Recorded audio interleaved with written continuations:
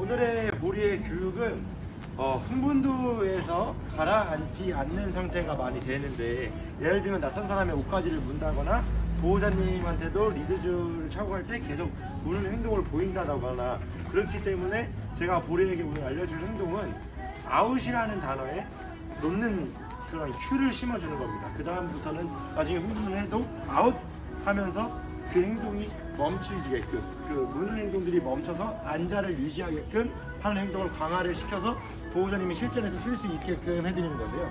이 아웃이라는 큐에 보리가 이걸 입을 놓게 되는 순간부터는 다시 이걸 물 수 있게끔 너한테 뺏는 게 아니라는 걸 인지를 시켜주면서 재미난 터그놀이라는 걸 인지를 시켜주고요.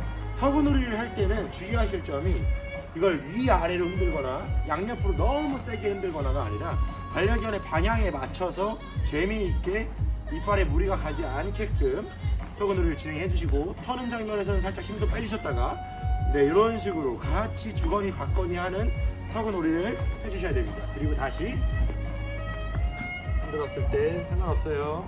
힘 싹 빼고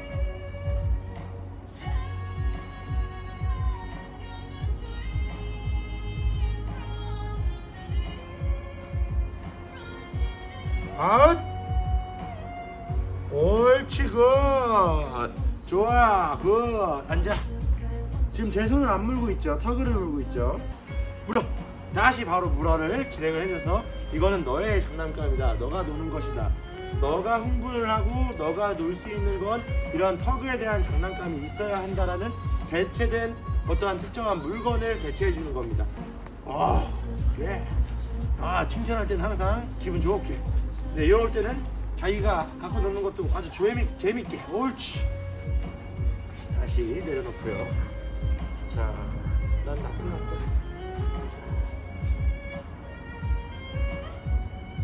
아웃!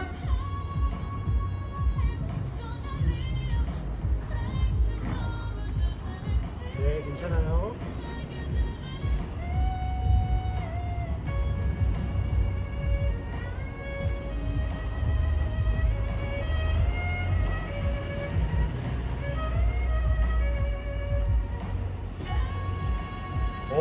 옳지 good 왜 여기서 제가 아웃 한 번 하고부터 또 아웃을 주입시키지 않았냐 아웃은 한 번이면 족합니다 두 번, 세 번 외쳐서 아웃을 하는 건 잔소리예요 한 번의 cue로 갖다가 인식을 하는 아이가 되기 위해서는 한 번만 정확하게 외쳐주시는 거 그러니 아웃 한 번을 할 때 정확하게 외쳐주는 게 좋습니다 처음에 어떤 타이밍이냐면 여기 타이밍입니다 아웃! 옳지 good!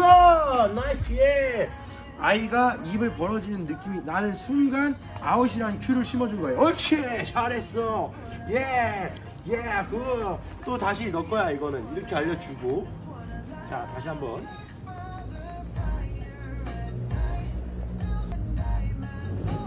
아웃. 옳지 그 잘했어 앉아. 우리 앉아. Nice good yeah. 그리고 나서 마무리는 너 거야. 이게 마무리입니다. 저건 보리 거예요. 제 게 아니라. 그리고 보리가 더 하고 싶다면 저한테 갖고 오겠죠.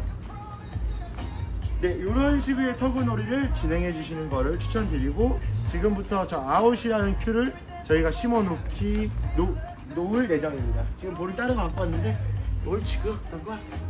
자, 아웃. 그렇지. 앉아. 앉아. 옳지 good. 네, 이상입니다.